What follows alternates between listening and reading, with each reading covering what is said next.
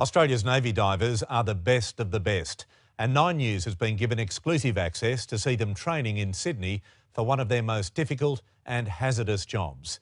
The big new support ships, HMAS Canberra and Adelaide, mean our armed forces now have a longer reach and better equipment than ever. But underwater, divers still face primeval dangers.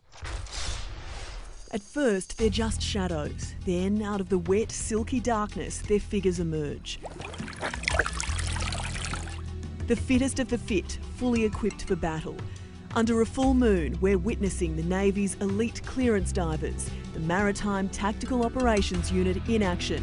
But this isn't a foreign battlefield, it's suburban Sydney, where, under the cover of darkness, we're given a rare glimpse of the men who were trained to never be seen training for for war at the end of the day. Um, hopefully, it doesn't come to that.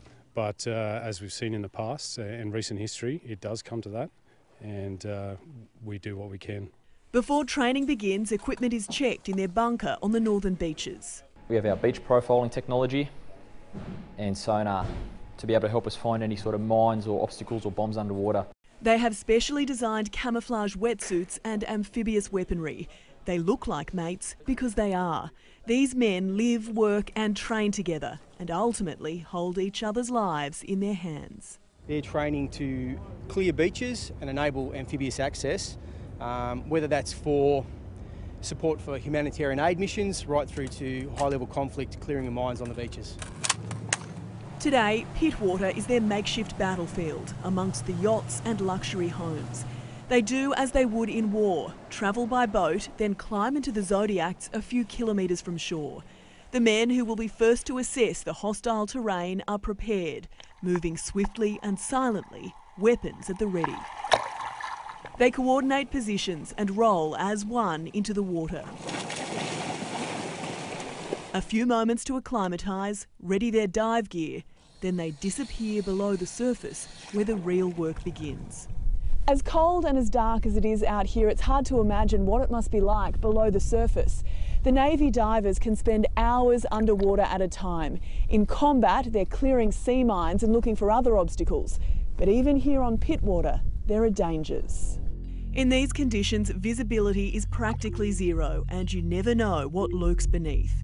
Recently, as one diver searched for an item on the seabed, his sonar lit up with a distant silhouette. So I just kept swimming towards it, and at about 20 metres, I realised this could be moving. although it's pretty large.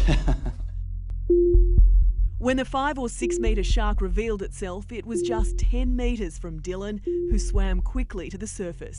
The next day, I was back back in the water. So yeah, have to get over that. Have to get over that stuff. Yeah. But the risks are real. In 2009, Navy diver Paul de Gelder lost a leg and hand when he was attacked by a bull shark on a routine diving operation in Sydney Harbour.